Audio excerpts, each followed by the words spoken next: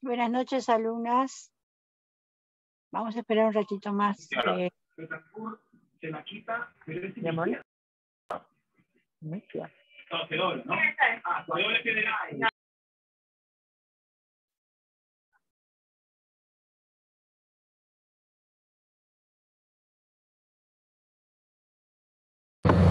Profesora, buenas noches.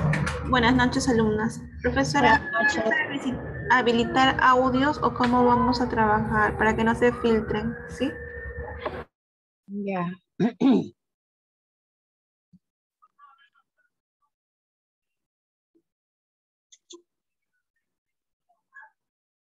Buenas noches.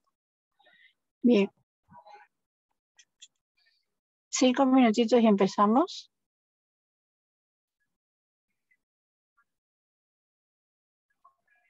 Buenas noches, Ignora. Buenas noches, chicas.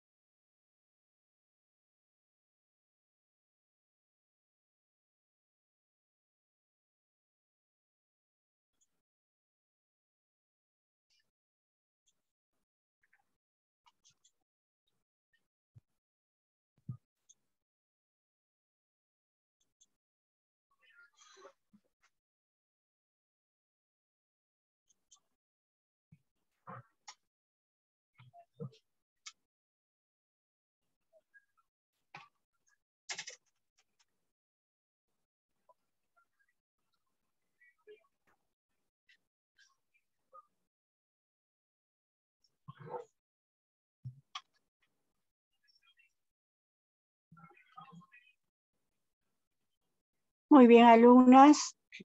Mi nombre es Rosa Elvira Corcuera Rodríguez, soy la profesora de Práctica e Investigación 3.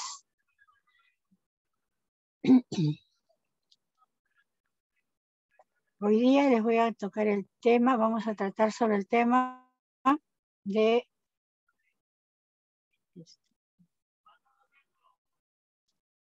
características de nuestros estudiantes. Ay,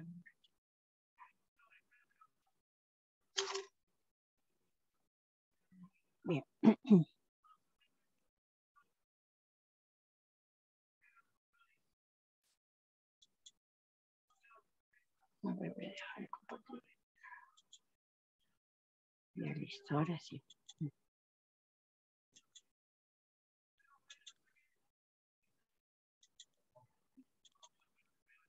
Bien. Características de los estudiantes. Los estudiantes de hoy en día conocen y buscan construir conocimientos. Eso significa que deben aprender a hacer muy buenas preguntas y hoy en día hacer buenas preguntas es más importante que memorizar respuestas fáciles. Los estudiantes entonces deben aprender a pensar de manera crítica. Bueno, para que los estudiantes de hoy en día conozcan y busquen construir sus conocimientos, deben tener cuatro habilidades. La primera que ya les dije, los estudiantes deben aprender a pensar de manera crítica. La segunda es necesaria es la capacidad de colaborar. Cada vez más en distintos ámbitos el trabajo se realiza de manera colaborativa ustedes saben que si no trabajamos de manera colaborativa no podemos avanzar porque todos los trabajos, la mayoría de trabajos que, que tienen éxito son los trabajos que se hacen en equipo.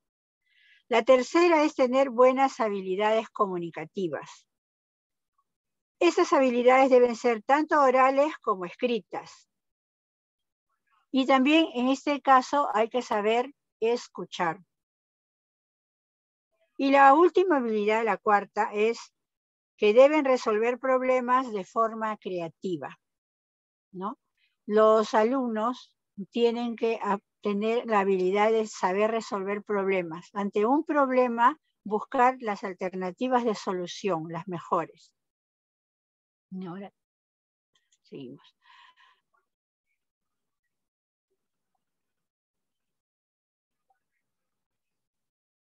Las docentes deben determinar la forma que los niños perciben la información y las experiencias. Debemos lograr en el alumno.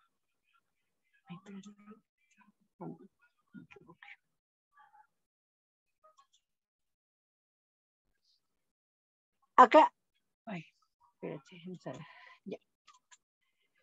Debemos lograr que los alumnos se comuniquen que su intención comunicativa sea buena, que la transmisión de la información también y la sintaxis de lenguaje, y la sintaxis de lenguaje es muy importante en los niños, que es la parte gramática que estudia el modo en que se combinan las palabras y los grupos que estas forman para expresar significados. O sea, si un niño tiene buena sintaxis de lenguaje, va a saber expresar bien lo que él quiere, o sea, el significado de lo que él quiere decir. Y después tiene que haber un seguimiento ocular. las cosas que han cambiado en nuestros alumnos es que tienen una mejor coordinación ojo-mano, una mejor visión periférica y respuestas más rápidas. Ustedes saben que la coordinación oculo-manual también llamada ojo-mano, como dice aquí, es una habilidad cognitiva compleja que nos permite realizar simultáneamente actividades en las que tenemos que utilizar los ojos y las manos. Los ojos fijan un objetivo y son las manos las que ejecutan una tarea correcta, concreta. Y entonces, este, cuando hablamos de coordinación óculo-manual, estamos hablando de una coordinación entre la vista y el tacto. Cuando hablamos de una visión periférica, estamos hablando que el niño no solamente ve, algo, algo pequeño, sino ve todo alrededor, 180 grados con su vista. Porque cuando estamos leyendo y solo nos fijamos en una palabra o sílaba, estamos leyendo en ese preciso momento, solamente estamos utilizando la visión del 30%.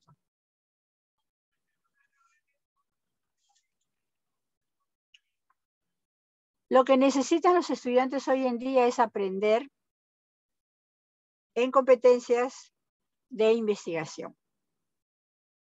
La investigación que tiene por fin ampliar el conocimiento científico sin perseguir en principio ninguna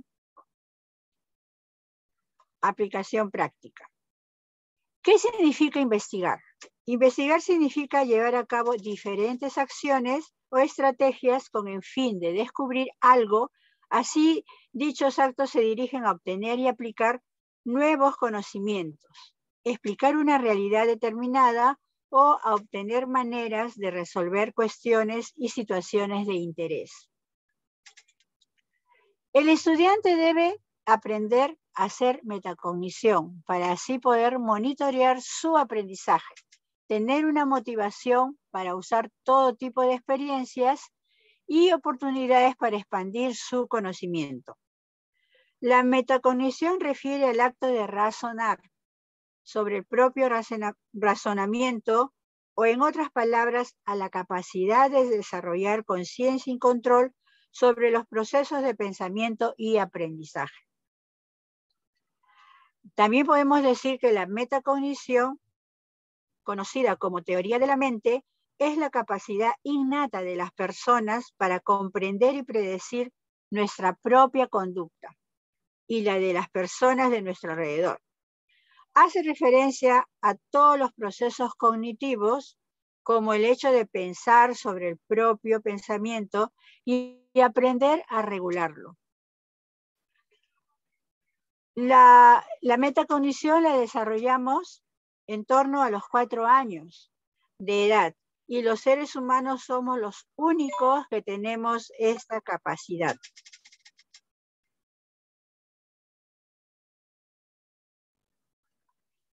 Es importante conocer a cada uno de nuestros estudiantes y tratar de adaptar la educación de forma que todos puedan aprovecharla al máximo.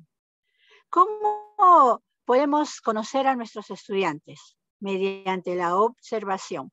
Cuando un niño llega a clase, nosotros lo miramos, vemos cómo se desenvuelve con sus demás compañeros, con las mismas profesoras, con la auxiliar, con las personas que están alrededor, con la directora, con todo el personal del colegio, ¿no? Entonces nosotros tenemos que observar su comportamiento y también podemos conocer a nuestro niño mediante dinámicas, dinámicas de motivación, de presentación, para que cada niño exprese cómo es, para que nosotros nos demos cuenta qué, qué, este, grado de, de apresamiento tiene, con qué, con qué saberes previos llega el niño al colegio. Entonces podemos hacer una entrevista también al padre, también una entrevista al niño de una manera adecuada y así conocer a nuestros estudiantes a cada uno, dice aquí. Ya. Esta forma de conocer a los estudiantes se determina basado en las inteligencias múltiples, ¿no? Las cuales se mencionan que las personas tenemos diferentes formas de percibirla. Las inteligencias múltiples hacen referencia a un modelo, a un modelo de pensamiento que plantea la existencia de un conjunto de capacidades y habilidades que pueden ser desarrolladas por las personas en, función de factores biológicos, personales y sociales. Aunque todos contamos con todas las inteligencias, tenemos unas más desarrolladas que otras. ¿no? la inteligencia múltiple no solo se reduce al ámbito académico, sino que es una combinación de todas las inteligencias de las personas. Por eso acá tenemos que hay ocho inteligencias múltiples según Garner, y las cuales son ¿no? inteligencia lingüística, ¿no? Eh, el uso amplio del lenguaje, la capacidad que tiene para comprender la orden y el significado de las palabras en la lectura, la escritura y también al hablar y escuchar. La inteligencia musical, que radica desde el mismo nacimiento y varía de igual manera de una persona a otra. Tiene capacidad para escuchar, cantar, tocar instrumentos, crear y analizar música. Las personas que tienen la inteligencia musical suelen ser músicos, compositores, críticos musicales, bailarines. La inteligencia lógico-matemática es, la, es en las cuales las culturas antiguas se utilizaba para formular calendarios, medir el tiempo y estimar con exactitud cantidades y distancias. Aquí el niño tiene la capacidad, o las personas tienen la capacidad para identificar modelos, calcular, formular y verificar hipótesis utilizar el método científico y los razonamientos inductivo y deductivo. Las personas que tienen inteligencia lógico-matemática suelen ser los economistas, ingenieros, científicos, matemáticos, etc. La inteligencia espacial consiste en formar un modelo mental del mundo en tres dimensiones. Tiene capacidad para presentar ideas visualmente, crear imágenes mentales, percibir detalles visuales, dibujar y confeccionar esbozos, realizar creaciones visuales y visualizar con precisión. Las personas que tienen inteligencia espacial suelen ser artistas, fotógrafos, arquitectos, diseñadores, publicistas, escultores, etc. La inteligencia cinética corporal consiste en utilizar su cuerpo para resolver problemas o realizar actividades. Una aptitud natural de este tipo de inteligencia se manifiesta a menudo desde niño. Tiene capacidad para realizar actividades que requieren fuerza, rapidez, flexibilidad, coordinación óculo-manual y equilibrio. Las personas que tienen esta inteligencia son los escultores, cirujanos, actores, modelos, bailarines, deportistas. La intrapersonal es el tipo de inteligencia que nos permite formar una imagen precisa de nosotros mismos. Nos permite poder entender nuestras necesidades y características, así como nuestras virtudes y defectos. Las personas que tienen la inteligencia intrapersonal suelen ser políticos, profesores, buenos vendedores, psicólogos. La inteligencia interpersonal es el tipo de inteligencia que nos permite entender a los otros. Consiste en trabajar con gente, ayudar a las personas a identificar y superar problemas. Tiene la capacidad de manejar las relaciones humanas y la empatía. Las personas que tienen la inteligencia interpersonal suelen ser administradores, docentes, psicólogos, terapeutas. Y por último tenemos la inteligencia naturista. Este tipo de inteligencia se utiliza para observar y estudiar la naturaleza. Tiene la capacidad de observar los modelos de la naturaleza, identificar y clasificar objetos, establecer patrones y comprender los sistemas naturales. Personas que tienen la inteligencia naturalista suelen ser botánicos, agricultores, ecologistas, cazadores y paisajistas. Los alumnos de la actual generación buscan suplir los papeles dentro del aula y construir sus aprendizajes de una manera muy diferente, de una forma activa. Debemos tomar en cuenta sus opiniones y aportaciones acerca de los temas en clase. De esta forma, el aprendizaje se construye en conjunto. Toda participación de los niños en el aula debe ser tomada en cuenta.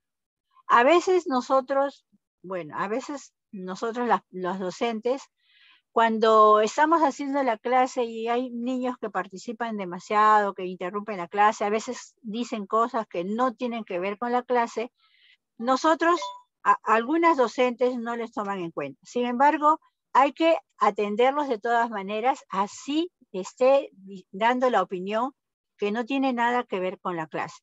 Lo que pasa es que nosotros tenemos que orientar al niño y decirle, bueno, muy interesante tu pregunta, luego te lo voy a responder, o este, decirle, este, o responderle en el momento algo cortito para que no se quede el niño con, con la, la, este, la duda de lo que había preguntado y que no ha sido resuelta. Entonces tenemos que atender siempre a los niños cuando levantan la mano y te piden y quieren dar su opinión porque si no, el niño se va a frustrar y va a sentirse mal porque no le hemos escuchado y no lo hemos atendido.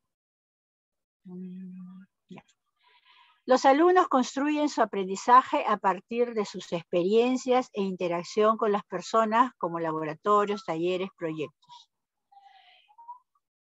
Sabemos que el aprendizaje es más rico si nosotros le damos experiencias directas a los niños, ¿no? Entonces, cuando le damos experiencias directas a los niños, ellos tienen un mejor aprendizaje, construyen ese aprendizaje porque la experiencia se les ha dado, porque han sentido, han, han tocado, han olido, han visto, han escuchado, han utilizado todos los sentidos para poder aprender.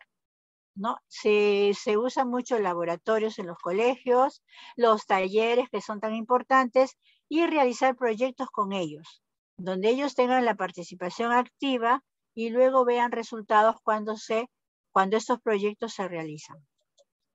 Los alumnos son como cohetes ya que tienen velocidad, aprenden mucho más rápido, se dirigen a diferentes destinos, pero estos cambios deben ser guiados por, por las docentes, como si fuéramos tanques de gasolina que los impulsamos, sobre todo deben estar bien construidos con herramientas y competencias para que no sufran frustraciones en el camino.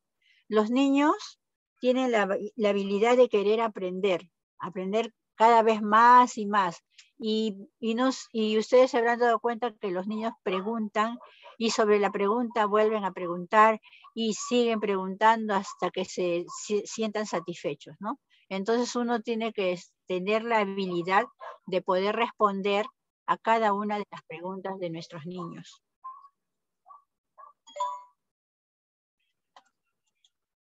La tecnología ya está inmersa en nuestras vidas y nuestra, es nuestra responsabilidad saber cómo utilizarlas.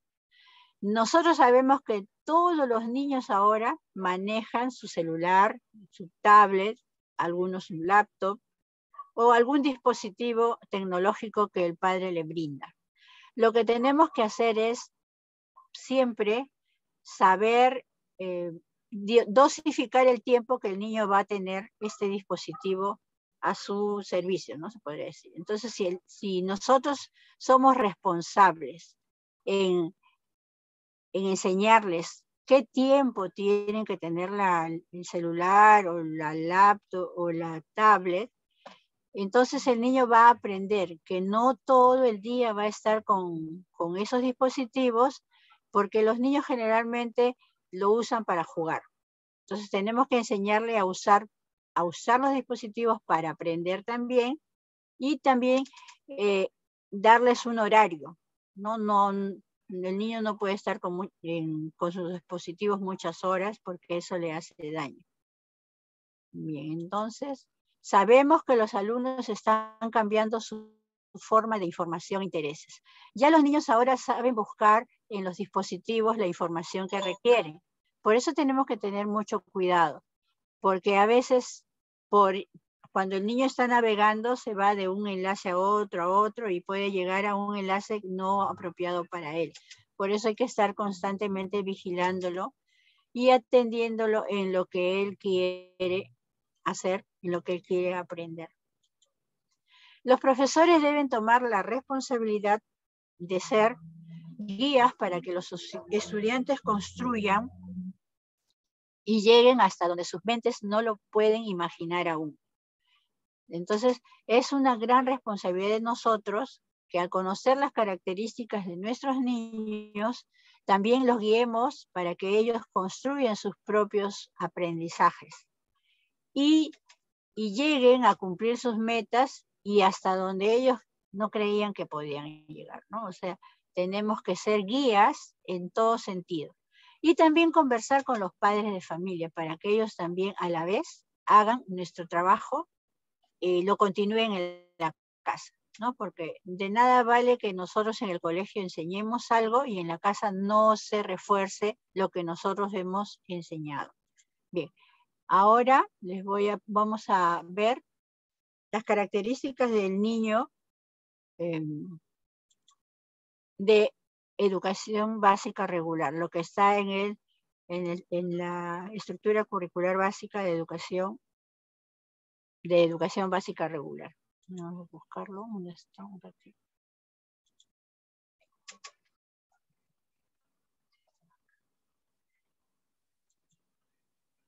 Un rato, voy a buscarlo ya. Mm.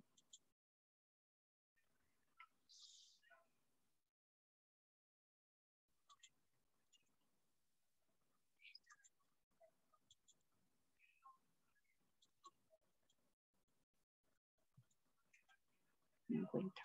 Mm. Acá está.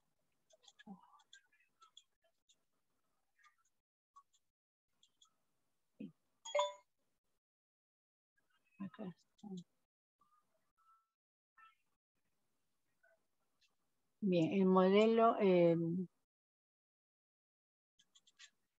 a ver,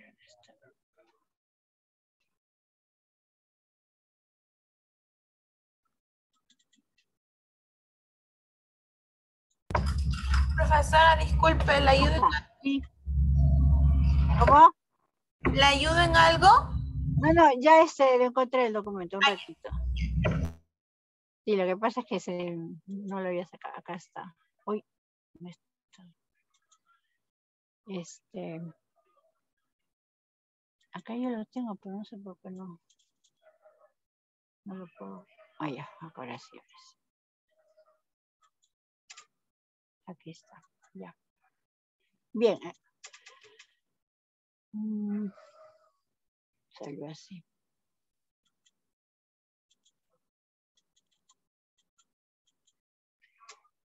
Bueno, me...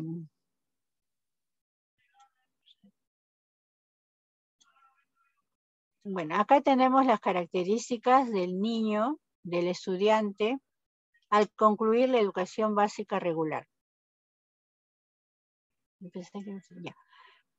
Bien, entonces tenemos que el estudiante de educación básica regular tiene que ser creativo, sus características, ¿no? Creativo, comunicativo, cooperativo, organizado, proactivo, empático y tolerante, democrático y trascendente, flexible, resolutivo, investigador e informado, crítico y reflexivo, ético y moral, sensible y solidario, autónomo.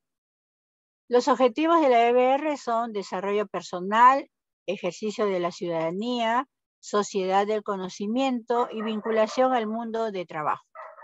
Bien, eso es. Eso está en el diseño curricular de educación básica regular. Bien, a ver.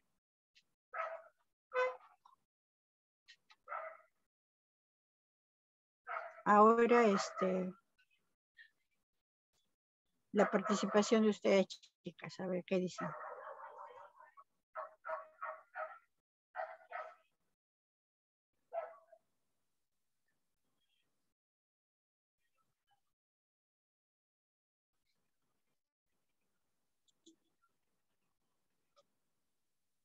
Bien. Nosotros tenemos a nuestro cargo niños de 3, 4 y 5 años en el segundo ciclo y en el primer ciclo niños, niños de 0 a 3 años. ¿no? Entonces lo que nosotros tenemos que siempre tener en cuenta es las características de los niños, de ellos, ¿no? de los niños que nos toca eh, trabajar. Por ejemplo, si nosotros nos hacemos cargo de los niños de tres años, lo primero que tenemos que hacer cuando nos dan esa tarea, esa sección, es investigar cuáles son las características de nuestro niño de tres años para poder llevar a cabo nuestra, nuestras sesiones de aprendizaje, para poder programar nuestra, este, lista de cotejo para la evaluación de entrada y para luego tener todo el proceso educativo teniendo en cuenta la, edad de nuestros niños. entonces, ¿alguna pregunta, chicas?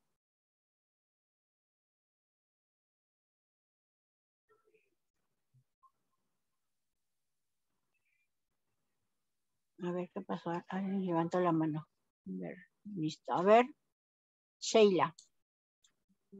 Ay, espérate. Ya, ahora sí. Profesora, buenas noches.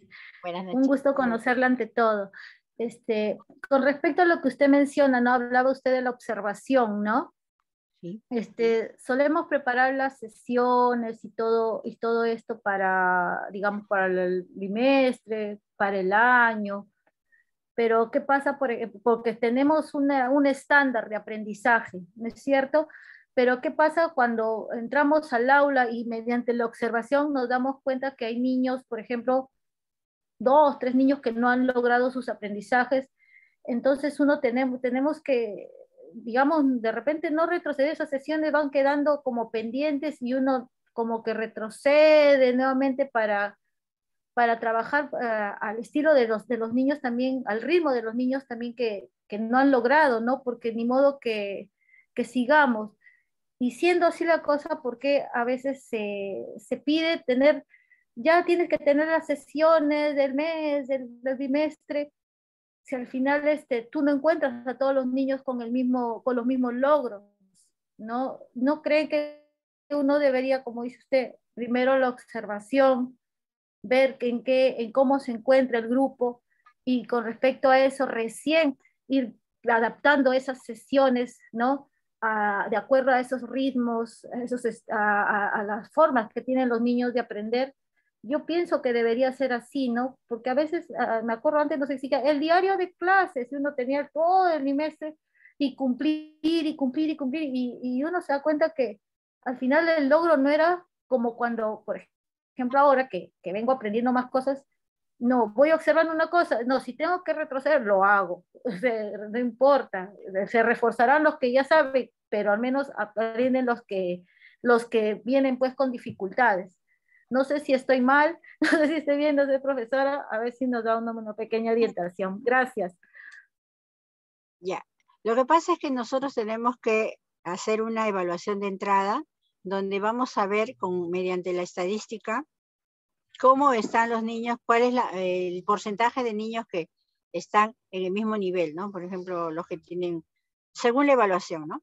Entonces, pero como tú dices, si nosotros estamos trabajando una sesión de aprendizaje y vemos que algunos niños no rinden, lo que tenemos que hacer es reforzar y volver a hacer esa sesión o este, retomando un poco lo que hemos enseñado, o sea, como repetir un poco para que los otros niños no se atrasen, porque en realidad nosotros, como tú dices, no podemos estar avanzando, avanzando y dejar que los niños se vayan quedando, unos, dos, tres niños, no podemos dejar que se vayan quedando. Tenemos que reforzarle los conocimientos de, de alguna forma, o sea, por decir, este, repasando, repasamos lo que hicimos la clase anterior. Vamos a repasar, hemos hecho esto, esto, esto. Entonces, a los niños que están un poco, como tú dices, atrasados o que todavía no han logrado los objetivos, los, las competencias que hemos programado, vamos a, tomarlos en cuenta. Eh, vamos a hacer, la, sí, como dice Dinora, hacemos la retroalimentación y vamos a, a a reforzar a ellos, a ellos, a ellos más que nada, ¿no? Porque para eso tenemos que hacer, ¿qué vamos a hacer?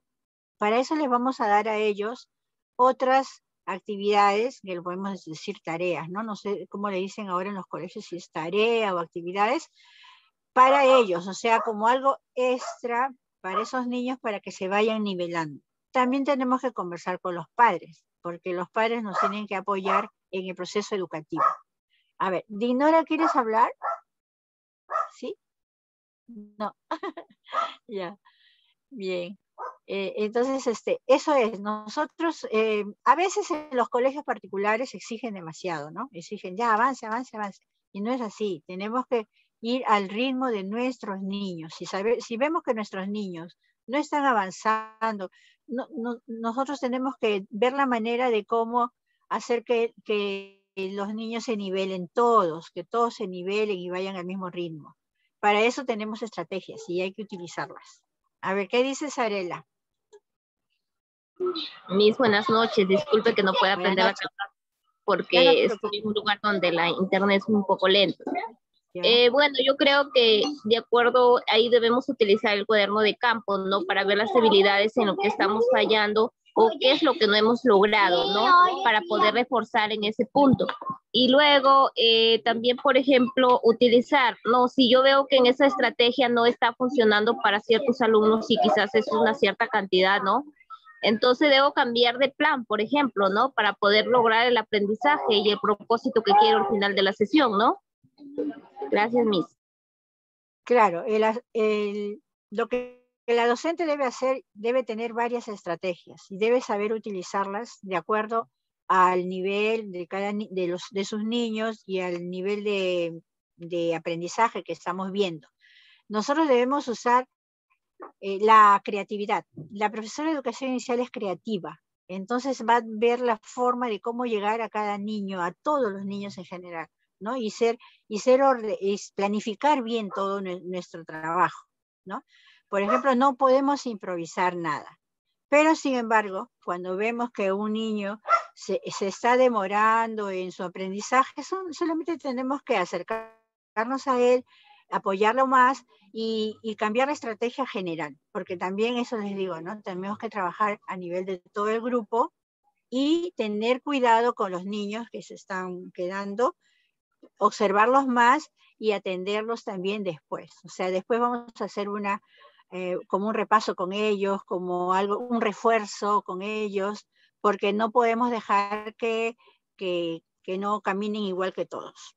A ver, este otra vez, Sarela, no, Sarela no, ¿no? Dignora. A ver un ratito, ya son.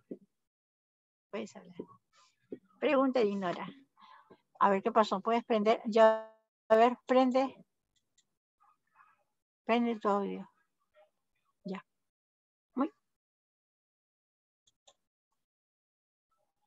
Prende, prende. Hoy sí.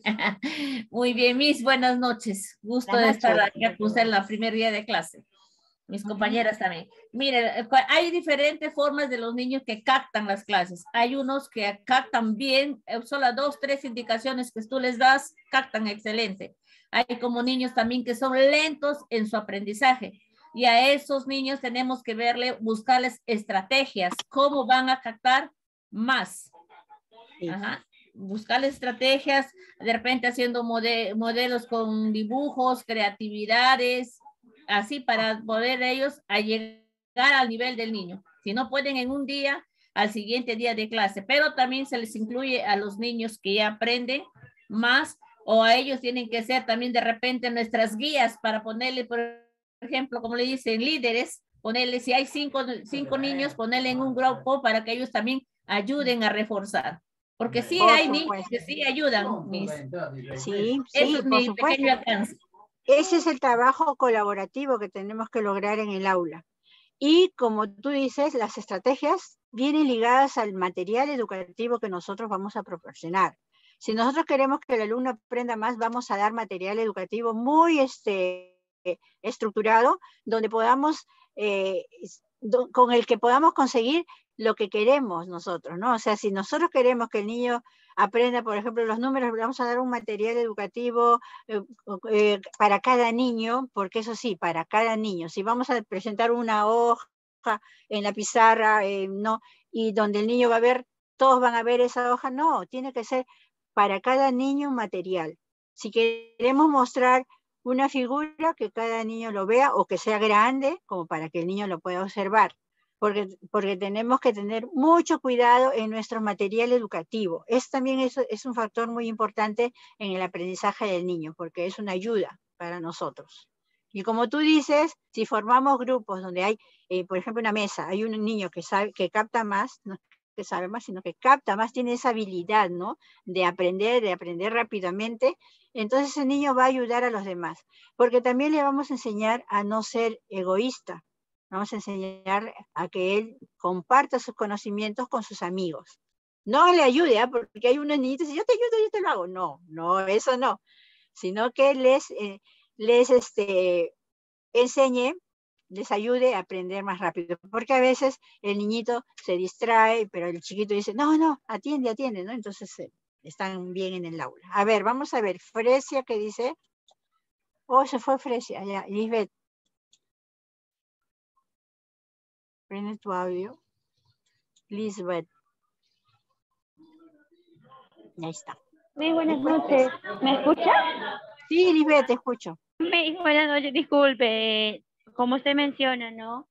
Eh, acerca de lo que estaba diciendo, de que hay muchos niños que quieren ayudar y compartir. Bueno, en este caso, yo estoy trabajando de manera presencial. Y sí, la verdad es que tengo niños en, a cargo mío de edad de 5 años en la cual eh, siempre hay niños que manejan mejores conocimientos debido al apoyo de los papás también, ¿no? El apoyo de los papás, eh, ellos adquieren conocimientos avanzados. Y hay niños que están en cinco años que no han hecho ni tres ni cuatro, mucho menos han recibido el apoyo necesario. Y de frente les han puesto en cinco años, en la cual hoy en día la educación de verdad es, está ahorita, para mí, mi punto de vista, según yo como estoy trabajando, eh, ellos están siendo los más perjudicados. ¿Por qué? Porque es todo en uno solo, o sea, todas las edades en uno solo, de golpe, como se dice. Ahora, ¿qué hago yo con los niños que saben, que tienen más conocimiento? Y es, muy gracioso porque son como vernos, nosotros como profesores, en ellos chiquititos. Yo les explico y tal cual les enseñan a los niños. Tengo un niño que, que sabe bastante y él comparte su conocimiento, pero lo va a entender como yo le enseño. Y le dice, no, así se hace, así se dibuja. Y es curioso, es muy curioso ver, ¿no? A un niño haciendo lo que tú haces como maestra, eso es lo que yo comparto, ¿no? Y como dice, gracias.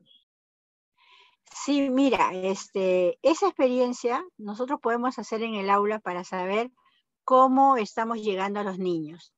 Un, un, día yo hice eso cuando estaba en clase, cuando estaba con mis niños, y les dije, bueno, hoy día Lady Lady.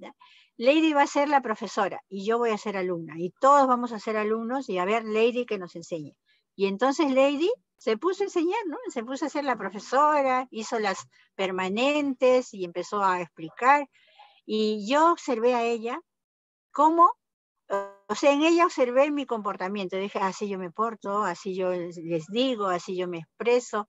Y era muy este, gratificante ver cómo los niños aprenden de solo, solo observarnos, ¿no? O sea, ellos aprenden y todo lo que nosotros enseñamos para ellos es ley. Por eso tenemos que tener mucho cuidado en lo que les enseñamos. Hay que enseñarles muchos valores, muchos hábitos de higiene, muchos, este, em, habilidades sociales para que el niño respete a sus compañeros, ¿no? Bien, a ver, vamos a escuchar a Fresia. Mis buenas noches. Buenas noches.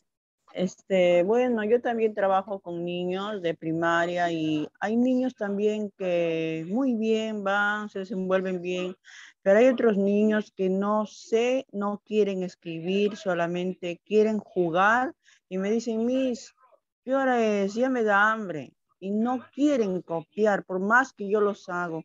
A veces se van escriben para abajo, fuera del reglón, a veces del reglón para arriba, y total que tengo que estar yo con la reglita poniendo las rayitas para que vayan por el mismo regloncito, pero un ratito copiaron y luego ya no quisieron. Mis, tenemos hambre, ¿qué hora es? pero hijito, recién hemos entrado a la clase. Le digo, no, pero ya tenemos hambre, ya no quiero copiar. Y tengo que estar con ellos ahí, ahí, ahí tengo que estar para que ellos puedan copiar y no se atrasen. Y la clase, por decir que se, se atrasaron, tengo que mandar al WhatsApp a sus mamás para que los apoyen también en su casa, porque no quiero que se atrasen mis niños. Y así me estoy trabajando con ellos para que ellos no se atrasen y ya pues que aprendan más también con ayuda de sus papitos. Sí, mi cita, es mi. Ah, muy bien. Sí, eh, el problema que algunos niños tienen es que todavía no se adaptan a los horarios que nosotros les damos. Y eso tenemos que enseñarle a respetar el horario. Como tú dices, no dices, no, tengo hambre, no, entonces tienes que decirle, bueno, sí, tienes hambre, pero vamos a esperar que no es la hora de comer, ¿no? Porque si no, si nosotros vamos a, a enseñarles a que no cumplan los horarios, entonces ya estamos perdiendo, pues. Y ¿saben qué? Todo se enseña el primer día de clase. El primer día de clase es el día que vamos a poner las normas, las normas de convivencia en la sala, ¿no? En el salón y donde el niño va a tener que aprender, porque para él le va a costar trabajo aprender los horarios, porque está acostumbrado, viene de la casa de otras costumbres, ¿no? Entonces, en el colegio él tiene que aprender a respetar las normas que se están dando. Por ejemplo, llegar temprano. Al llegar temprano, saludar a la maestra, saludar a sus amigos, respetar, eh, entrar a hacer las, las actividades permanentes de juego, respetar a sus compañeros, no, pelearse. Todas esas cosas tiene que aprender el niño y sobre todo los horarios de ir al recreo, la lonchera, eh, las, actividades de aseo, bueno, todo lo que se, que se programa en el aula, ¿no? Eh, también, como dice Fresia, este, los niños tienen costumbre, vienen con costumbre en su casa, entonces tenemos que pedir apoyo de los padres. A los padres, por ejemplo, eh, enseñarles en las reuniones decirle lo que hacemos en el aula. El padre tiene que estar enterado, por ejemplo, decirle, no, hoy día eh, en la reunión de padre familia, señores padre familia, el primer día hicimos las normas de convivencia, donde los niños van están aprendiendo a respetar horarios, a respetar este, a sus compañeros y todo lo que se, ha decidido con ellos mismos, porque los mismos niños hacen sus normas de convivencia, o sea, con opiniones de ellos, nosotros no vamos a imponer, los niños mismos van a, van a proponer qué hacer, ¿no? Por ejemplo, decir, vamos a, a regar las plantitas, vamos a botar la basura, cosas así, ¿no? Y ya. entonces es muy importante el diálogo con padres y también la observación a los niños. Siempre tenemos que observar a los niños. La maestra de educación inicial es la que sabe cómo vienen sus niños y conoce a cada uno de los niños. Si nosotros no estamos atentos, entonces no sabemos si el niño sabe recortar, si se sale de la raya, si pinta bien, si agarra bien el lápiz. Todo eso tenemos que observar. ¿no? Porque cuando el padre viene al salón y le pregunta, ¿y cómo está mi niño? ¿Y cómo está? Y tú le vas ah, bien. No, tienes que decirle que el niño ha progresado en su recorte de tijeras, por decir, que el niño ya está pintando muy bien, señor, le felicito. Siempre tenemos que darle palabras de aliento al padre y buenas noticias. No hay que estar dándole malas noticias, de decir, ah, su niño se portó mal, que eso, que lo otro. No, porque todas esas partes de lo que el niño se porta mal, lo tenemos que solucionar nosotros en el aula. Y al padre recién darle, bueno, cuando ya el niño es demasiado terrible, ya el padre nos tiene que ayudar y tenemos que decirle, ¿no? Pero tratar en lo posible de darle buenas noticias a los padres, felicitarlos todos los días para que esté contento y también trate mejor a su hijo en la casa, ¿no? Porque a veces cuando uno le dice, no, su hijo se ha portado mal, el papá que va en la casa, ¿qué le hará, pobrecito niño, no? Entonces tenemos que tener cuidado también por eso. Y a ver, sí, las normas de convivencia se tienen que respetar. Hay muy importantes los materiales. Y las experiencias directas, ¿no? Ya lo vimos en esto. Las, experiencias directas son importantes. Y también hay otra cosa muy importante. A ver, ¿quién, se, quién me dice? ¿O quién se acuerda? Hay algo muy importante, eh, una actividad muy importante con lo que el niño aprende más. Son los juegos, ¿no? Cuando el niño más juega, más aprende. Bien, a ver, otra pregunta.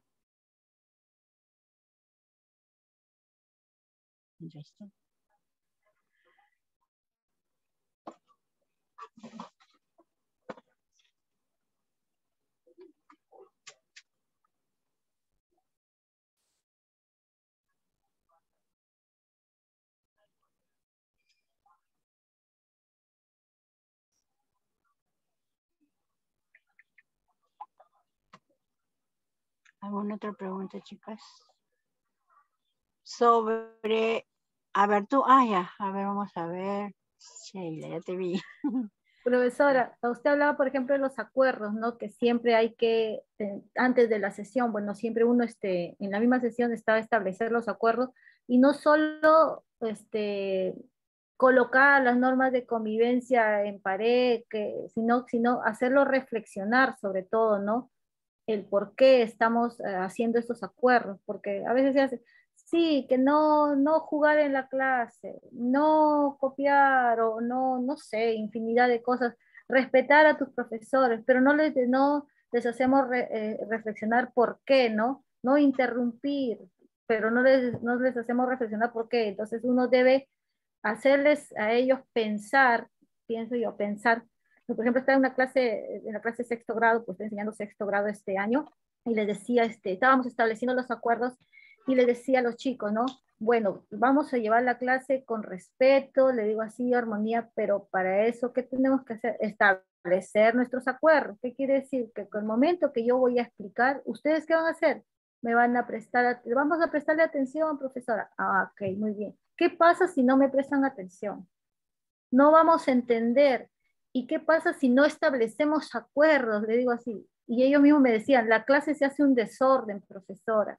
Y si, se hay desorden, ¿qué pasa? No aprendemos. O sea, ellos mismos sacaban estas respuestas, ¿no?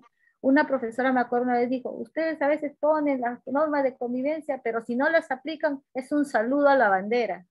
Y eso es muy cierto, ¿no? Se ponen ahí, se pega el papelógrafo, pero si no se aplica en el aula, eh, el respeto entre los compañeros, ¿no? que no se insulten, que se respeten las opiniones entre ellos. Eh, si no se aplica en el aula, bueno, no nos sirve tenerlo en un papelógrafo, como se dice, ¿no? Es una, es una tarea de todos los días, ¿no? Eso es todo, profesora. Ya, muy bien. Es que el respeto tiene que empezar de nosotros mismos. Si nosotros no nos respetamos, nadie nos va a respetar. Y eso es lo que tenemos que enseñarle al niño, respetarse y respetar a los demás. A veces los padres no les importa que el niño se porte mal con los otros adultos. Cuando nosotros tenemos que enseñar que el niño debe obedecer y respetar a toda persona, sea niño, sea adulto, sea de la tercera edad no hay distinción de edades en, el respeto. Hay que respetar a la persona que está a nuestro lado. Así no lo conozcamos a la persona, tenemos que respetarlo, ¿no? Porque, porque eso es un valor que es el, yo pienso que es el principal eh, que debe tener todo niño. Entonces, si nosotros observamos bien a nuestros niños, que ahora, ahora, ahora es diferente, ¿no? la educación, ahora los niños están prácticamente ordenando al padre lo que él tiene que hacer. ¿no? Hay muchos padres permisivos ahora en, ahora en estos tiempos. Antes el padre de familia le decía al maestro, pégale, pégale profesora, si se porta mal, pégale nomás, decía el padre familia. Ahora, pobre, que la profesora le agarre un pelo, el padre ya le está denunciando. ¿Por qué? Porque el niño en la casa le dice, no, mi profesora me jaló el pelo, y, y, o la auxiliar, entonces el papá dice, ¿cómo? No puede ser pero, o sea, ni siquiera ha pasado eso. A, veces la profesora levanta la voz y ya, es un problema para el papá. Entonces, ¿qué tenemos que hacer? Tenemos que hablar mucho con los padres de familia y también con los mismos niños y, decirles, enseñarles por qué es que él tiene que respetar, por qué tiene que portarse bien, por qué tiene que ser un niño bueno, para qué, o sea, qué va a pasar después, ¿no? Si, si es un niño que toda la vida va a hacer lo que quiere, más adelante, ¿qué va a hacer ese niño? Eso podemos hablarle así al niño, eh, porque los niños, a pesar de su edad, entienden todo, todo entienden. Ahora los niños que, por ejemplo, hay unos niños, ¿no? Que dicen, la mamá le dice, pórtate bien, esto, ¿no? Pórtate bien, que te voy a castigar. Le dice, ah, mis derechos, los derechos del niño, mamá. Así reclaman, ¿no? Entonces, hasta eso nosotros tenemos que hablar. ¿Qué pasa con los niños? Tenemos que decirle, tú tienes derechos, pero también tienes deberes. No solamente vivimos de derechos y vamos a reclamar nuestros derechos, no. Antes de reclamar un derecho, tenemos que ver qué deber teníamos que haber cumplido para poder obtener ese derecho, ¿no? Entonces, es muy importante que el niño sepa qué es derecho y qué, es este deber. El deber del niño, el deber del niño, lo que debe hacer, cómo se debe comportar. Y el derecho que tiene de que las personas lo respeten también a él, ¿no? Eso es. A ver, dice Lisbeth. En este caso, ¿qué recomendación nos podría dar para niños de nivel inicial con respecto a su comportamiento? Ya conversé con la madre de familia, pero me informa que a ella tampoco le obedece y lo único que me pidió es que le alzara la voz, pero como maestra no estoy de acuerdo en ese aspecto. Sí, hay madres que creen que la maestra va a solucionar sus problemas, pero ¿por qué el niño no le obedece ahora? Porque antes ella no, pudo, no supo ponerles pues obedecer o hasta aquí nomás te puedes portar mal.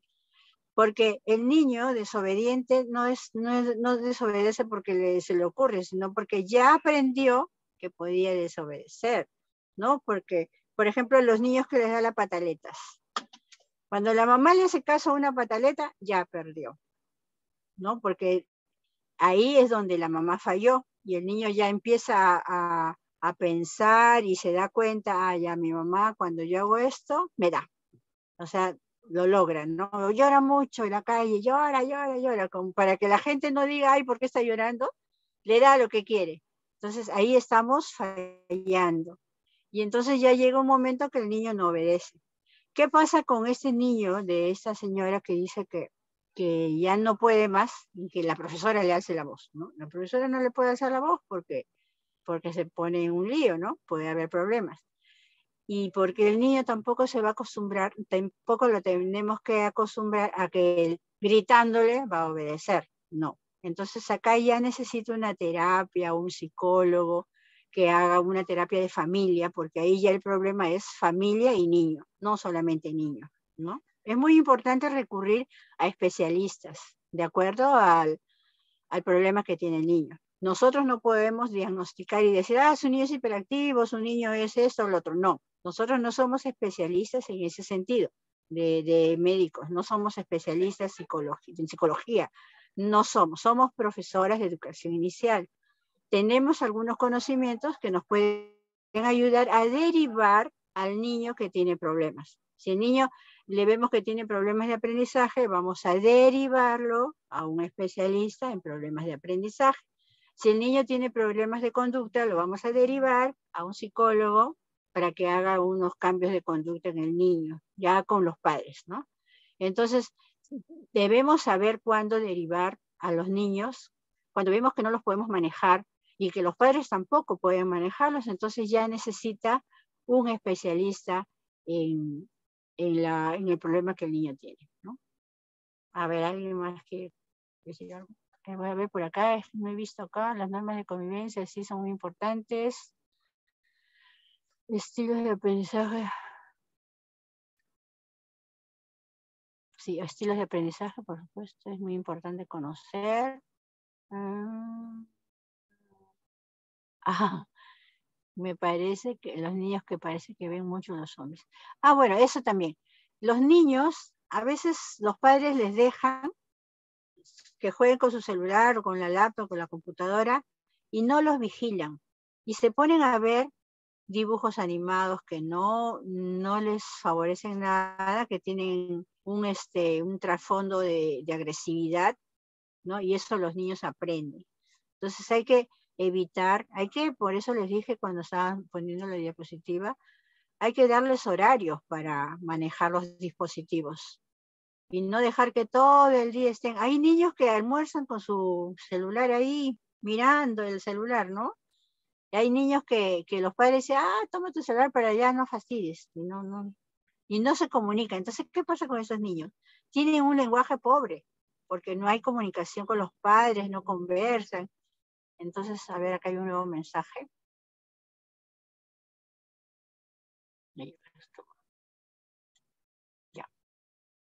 La mayoría están con retraso en el lenguaje, a mí no se le entiende nada para ser inicial. Ah, sí. Por eso les digo, ¿por qué los niños tienen retraso en el lenguaje? A pesar de que no tienen ningún problema, no tienen ningún problema de lenguaje. Pero ¿qué pasa?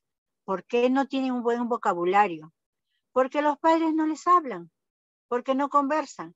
Ustedes han visto y se habrán dado cuenta que los niños que tienen hermanos mayores sí hablan bien, sí se expresan bien porque ellos aprenden de sus hermanos mayores. Pero los niños que son únicos y que sus padres trabajan todo el día y están con la empleada y la empleada ni siquiera les habla, solamente dice come, toma, esto y el otro, ¿no? Entonces no conversa con el niño. Entonces el niño no tiene oportunidad de aprender nuevas palabras, ¿no? Y es muy importante que el padre se comunique bastante con su niño, le pregunte, le, le diga todas las cosas por su nombre, no le diga, por ejemplo, tu ropa, no, este pantalón amarillo te lo pones. Así, oraciones completas. Eso tenemos que decir a los padres que, de esa manera se comunican con los hijos. Porque de verdad que, a falta de esto, de tanto, mira, porque los juegos, hay juegos que no tienen los niños que hablar nada, solamente juegan, juegan, juegan, tocan, tocan ahí su, su celular, ¿no? Entonces nunca hablan, están callados todo el día porque están todo el día jugando. Entonces por eso este, tienen problemas. A ver, ¿qué dice? El regreso, en este regreso escolar, a ver, son las nueve, ya. En este regreso escolar, los niños en esta coyuntura han sido los más afectados y en la etapa preescolar es muy triste ver y vivir todo esto día a día. Sí, lamentablemente la educación virtual no es igual a la educación presencial a los niños les ha faltado esto, ¿no? Este, compartir con sus amigos de misma edad, de la misma edad.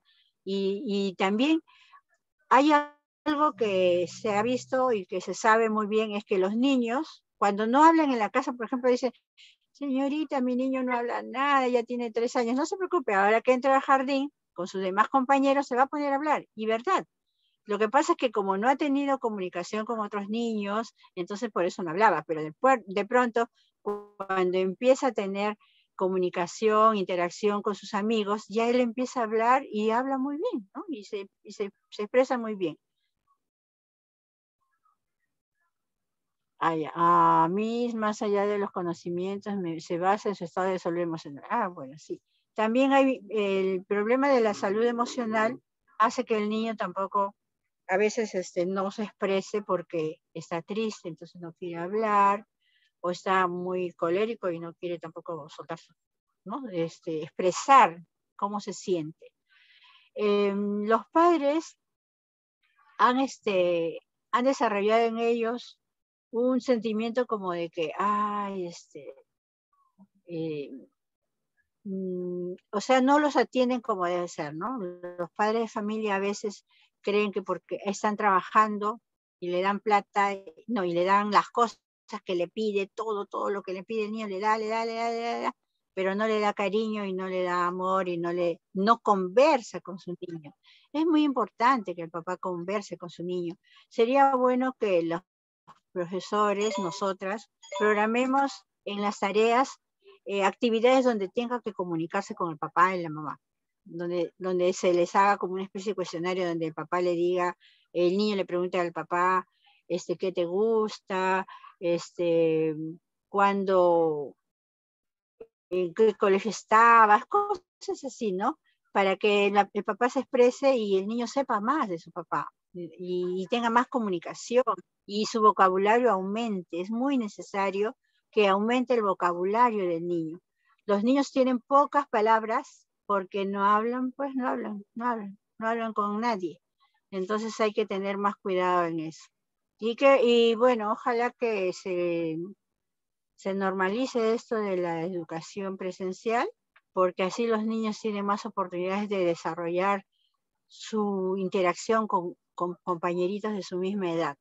Y así se desarrollan sus habilidades sociales, ¿no? De, compartir, de solidaridad, de ser solidario con sus amigos, de ser comprensivos, porque los niños ahora este, están viviendo su mundo solitos, por lo que han estado dos años así solos, ¿no? Prácticamente hemos estado, los niños han estado solos, no tenían con quién conversar, eh, la educación virtual no es igual y no hay nada como la presencial, ¿no? Donde los niños tienen experiencias directas.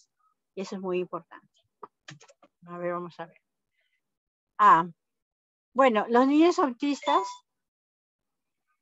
los niños autistas son aquellos niños que viven su mundo, ¿no? Su mundo propio, pero saben que estos niños, nosotros le tenemos que dar los conocimientos porque estos niños captan todo, todo, todo, todo. No hablan nada, pero llega un momento cuando ellos, como se dice, se sueltan y empiezan a hablar y empiezan a, a, recordar, o mejor dicho, a realizar todo lo que nosotros le hemos enseñado. Porque el niño autista es un niño inteligente, es un niño que está captando todo, solo que no quiere expresarlo. Tiene sus problemas de, habilidad social, ¿no? De, que no, no, se no, no, no se puede relacionar bien con los demás compañeritos, quiere vivir su vida solo, pero en realidad el niño, conforme nosotros le damos las terapias, va aprendiendo y llega un momento en que el niño va, va a este, exteriorizar todo lo que aprendió porque ya puede, ya habla, ¿no? Hay niños autistas que no hablan hasta los 6, 7 años y hay que seguirles dando los conocimientos, hay que darles nomás todo, todo lo que podamos hasta que eh, llega un momento en que ellos se ponen a hablar y ya, todo parece normal, pero no. Claro, tiene sus limitaciones, de todas maneras, porque ellos tienen el problema de, la socialización, más que nada. A ver. Sí, es muy importante que nosotros, si tenemos en el aula un niño con habilidades especiales, con necesidades especiales, tenemos que manejarlo a nivel de todo el salón. Tenemos que hablar con todos nuestros niños y hacerles comprender por qué este niño es diferente a nosotros, a los demás niños, para que el niño solidariamente se comporte con él. No haga, o sea, no lo sobreproteja. No es bueno sobreproteger a ningún niño con habilidades, con necesidades especiales. No, no, no debemos hacer eso. Pero sí es bueno que interactúe con los niños. que cada niño, que todos los niños del salón sepan por qué nuestro compañerito es así. Y todos tengamos, y todos hagamos el acuerdo, como dijo Sheila, el acuerdo de portarnos bien con él, de ser solidarios, de, de comprenderlo, sobre todo eso, comprenderlo, y llevar bien las clases con él, ¿no? Entonces, este, es necesario que se haga una reunión tanto con niños como con padres, porque hay veces algunos padres dicen, ay, mi hijito, desde que, desde que vino ese chiquito, se comporta igual y ya no quiere obedecer y está haciendo esas cosas que está mal, que no me parece que estudia acá ese niño y se ponen en contra de ese niño. Entonces nosotros tenemos que hablar con los padres y sensibilizarlos y decirles, miren, si ustedes tuvieran el problema, si fuera de ustedes el problema, o sea, si ustedes tuvieran un niño así, no les gustaría que, se portaran así, como usted se porta, ¿no? Se le habla, se le, se le explica, se le dice, se le dice que, que tiene que, o sea, se le sensibiliza, ¿no? Para que el papá comprenda y le diga al niño que también tiene que comprender a ese niño con necesidad especial. Hay otra cosa también que pasa mucho, ¿no? Hay padres de familia, madres de familia, que no quieren este, darse cuenta o no quieren aceptar que su niño es especial. No lo aceptan, entonces vienen y quieren que uno le dé los conocimientos como los otros niños y dicen, no, pero mi hijo sí puede. Y no, y, no, no acepta que su niño es especial. Entonces hay que hablarles a ellos, decir, mire señora, usted tiene que aceptar su realidad. Su niño tiene esto, yo le he observado esto, y bueno, tráigame por favor un, va, llévelo al psicólogo, traiga un informe psicológico para que, ¿no? Para que se reafirme lo que nosotros estamos pensando que tiene. No vamos a darle un diagnóstico, ¿ah? le vamos a decir, pensamos que su niño tiene este problema, por favor llévelo a un especialista para que podamos trabajar juntas porque el trabajo es en grupo, es en común, no es aislado. La profesora no va a trabajar sola, el psicólogo por un lado va, a este, dar terapia, no. La psicóloga tiene que trabajar con la profesora, ponerse de acuerdo qué, terapias vamos a realizar con el niño. Las que va a hacer la profesora a nivel de salón y las que va a hacer ella a nivel de individual, ¿no? Por las terapias que le va a dar. Uy, un ratito, se, me acaba la... Ya, muy bien. Entonces, eh, ahora, más preguntitas. Un ratito. Voy a traer mi cargador porque se queda sin batería. Un ratito, a ver.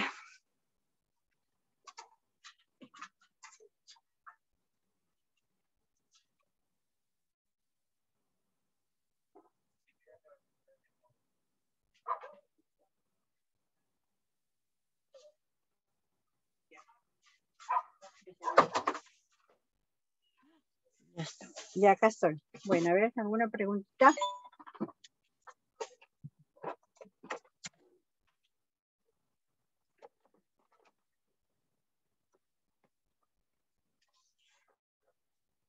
¿Alguna preguntita más?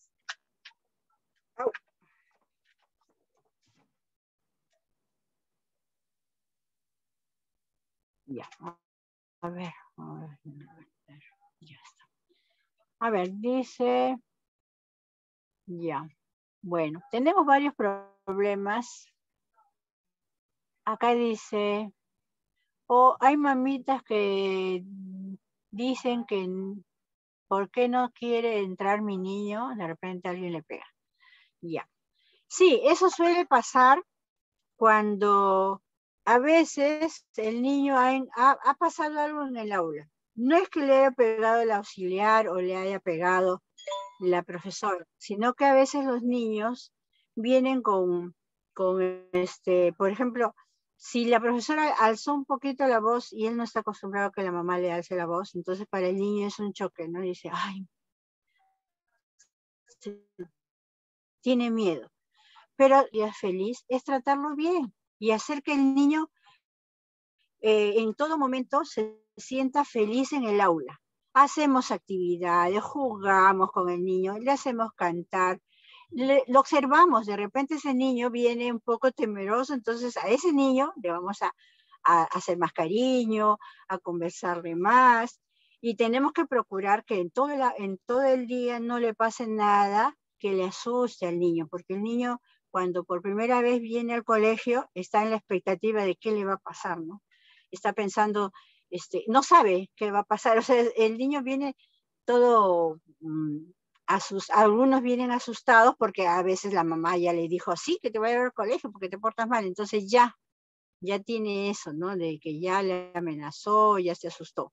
O tal vez este, ve a los niños grandes o, ve este, a la profesora como no la conoce, la está mirando, entonces tenemos que tratar de que nada, nada le vaya a, este, afectar. entonces el niño va a venir contento. Lo bueno es que tenemos que mantener la alegría en el salón. Siempre felices nosotros, siempre felices los niños, hacerle jugar, eh, observar si el niño no juega, llamarlo y hacerle que sea el líder. Y así cosas que, que le motiven al niño para que no pierda las ganas de venir al colegio. Ahora dice, los niños que están mal alimentados, los desnutridos, no aprenden.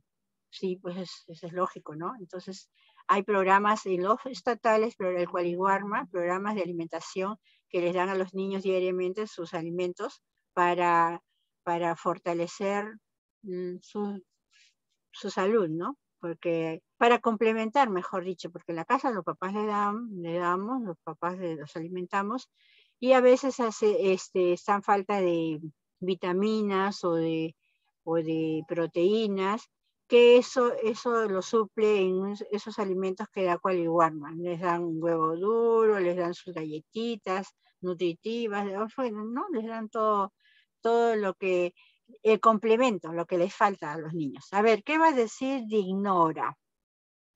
Sí.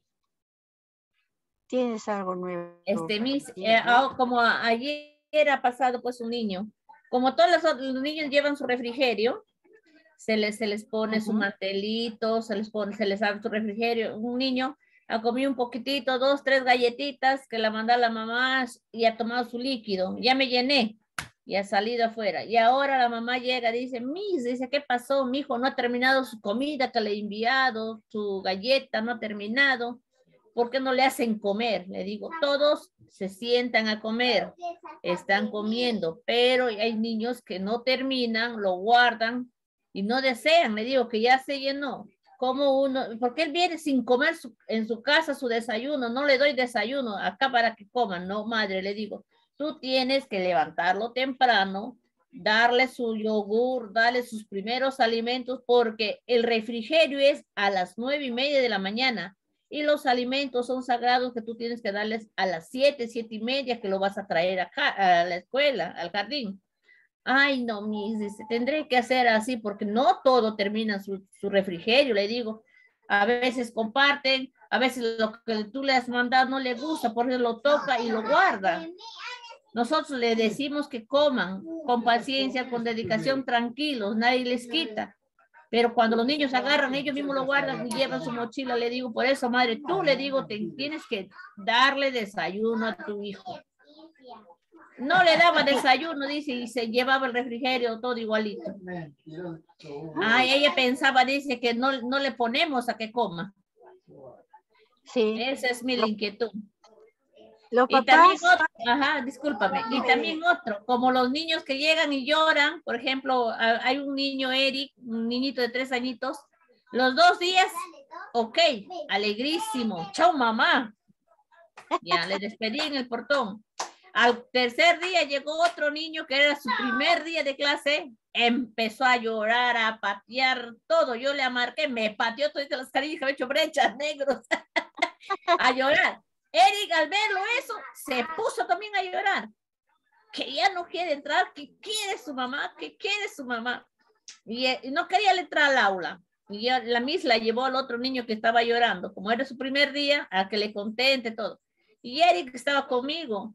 Dice, Miss, vamos cantando, cántame pues. ya le cantaba y así, así me ido hasta su aula, le dejé en el aula cantando a la Miss y, y cerraron la puerta. El niño un ratito el recreo ha salido Dice, Miss, me dejaste allí en el jardín, di, ahí es tu, jardín, ahí es tu aula. Ella, Miss Rocío, es tu Miss. Yo soy tu Miss Nora, le digo, cuando no está mi Rocío, yo voy a entrar a ver para cantar, ya, le digo, ah, ya, muy bien, dice. Y ya contento, ahora ya no llora. El niñito del primer día que vino tampoco, solamente dos días ha llorado, dice, ha calmado ya. Con dinámica, canciones, entre juegos, le hemos hecho entender que ese es su jardín. Acá vas a estar, le digo, cuatro horitas con nosotros. De ahí en la tarde te vas, vas a estar con tu mamá hasta todita la noche, hasta el día siguiente que vas a venir.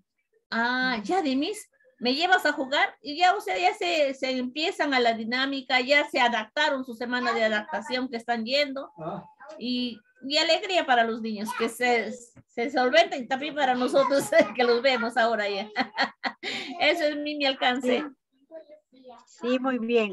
Esa, es, es así, es muy importante que tengamos comunicación con los padres porque, porque es ahí la base de, que nos vaya bien. Un niño, miren, un niño está feliz cuando nosotros estamos ahí con ellos, como tú dices, ¿no? Atendiéndolo, fijándonos en lo que no, lo que le falta o lo que quiere. Y cuando el niño está feliz, las horas pasan rápido las horas pasan y no está pensando en que la salida, que mi mamá va a venir, que no sé qué, ¿no? Cuando el niño está triste, cuando tiene problemas de adaptación, cuando se siente que, que algo tiene miedo, algo, las horas no pasan y está pensando en, en a qué hora llegará mi mamá y para él el día es largo, ¿no? Entonces tenemos que procurar que el niño esté feliz siempre. Y eso depende de nosotros, de que hagamos diferentes actividades, para que el niño se sienta contento, muchas dinámicas y, lo tratemos sobre todo bien. Porque cuando nosotros tratamos bien al niño, el niño en, la vida pues, va, a decir después que no, no nos quiere, ¿no? Entonces, este, es muy importante que tengamos en cuenta esto, de que hay que hay mantener la felicidad en los niños. A ver un ratito. Uy, ya, este. Mm, ¿Qué pasó acá? Ya. Y, es este, muy importante lo que tú dices. La mamá a veces dice, ay, no ha comido nada, este. Y es que nosotros no podemos obligar al niño a comer. Si el niño trae su lonchera, la abre, no le gusta, la va a cerrar de nuevo. Entonces no es nuestra culpa que no coma. Es simplemente que no quiere comer. Entonces a la mamá también le vamos a decir, señora, este, si su niño no comió, procure traerle alimentos que le gustan.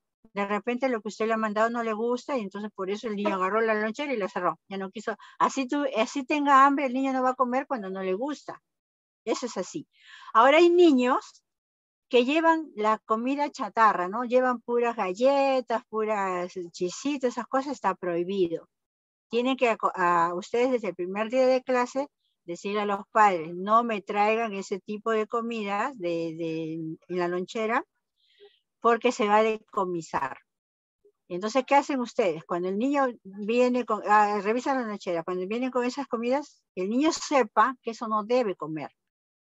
¿no? Que la mamá tiene que despertarse temprano y hacer su lonchera, cosas nutritivas para que el niño se alimente bien. Todo lo que sea golosina en su casa, bueno, ya, si quiere, denle en su casa, y eso está muy mal, ¿no? Pero acá en el colegio, nada de golosinas. Eso tiene que, enseñar a los niños y a los padres también. Porque para, ¿qué pasa? A veces un niño viene llorando porque no le compró la, la golosina en la calle, por eso viene llorando. No es porque en el colegio lo tratan mal o que no le gusta el colegio, es que no le dieron lo que él quería. Entonces, todo eso vamos a analizar. Cómo viene el niño, si viene contento, por qué viene contento. Y hay, este, hay varias dinámicas de, saludo. ¿Han visto ustedes los videos? No sé si habrán visto algunos videos donde eh, la profesora pone en su puerta unos signos y los niños saludan de esas maneras, escogen cómo saludar a la maestra, ¿no? Un abrazo, un besito, una palmadita, o un, un chócala, ¿no? Ajá, una bailadita, todo eso, ¿no? Ya eso, eso también podemos hacer, entonces el niño viene contento, ¿no? Hoy día voy a bailar con la Miss, ah, se pone a bailar antes de entrar, ¿no? O hoy día le va a dar un choque a la Miss, ya está. entonces así vienen contentos, entran contentos al colegio. no se olviden de sus actividades permanentes. Siempre el niño debe de no, las, este, jugar antes de empezar las clases, jugar con el juguete que quieran, elegir el rincón que quieran y sentirse felices, ¿no? Lo que ellos quieren hacer. Todo tiene su momento, todo tiene su hora, sus horarios. Y a ver, dice, son muy dinámicos. Ya. Ajá, los saludos, saludos son bien dinámicos. Háganlo, es, hagan eso. Hagan eso y, y les va a ir muy bien. ya. Muy bien, chicas, creo que ya nos pasamos de la hora, son las 9 y 21. Nos vemos el otro jueves. Chicas. Gusto de estar con ustedes. Chao.